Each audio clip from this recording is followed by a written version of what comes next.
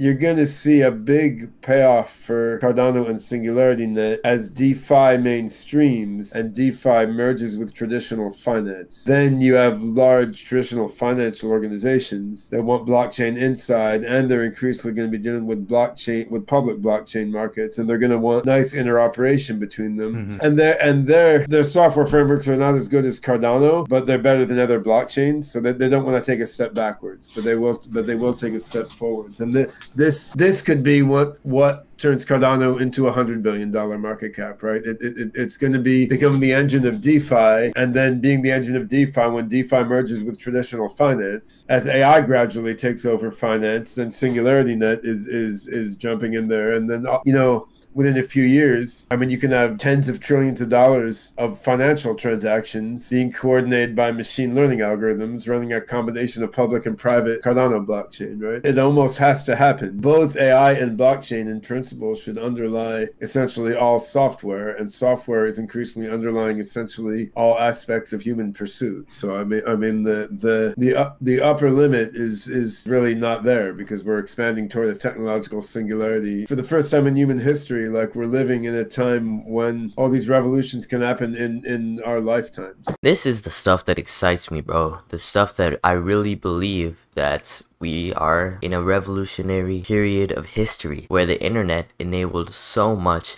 to happen almost all at once. Blockchain technology, artificial intelligence, robotics, genetics. This is all stuff that I believe in investing in. And I, I genuinely believe that the more you learn, the less you'll care about the price.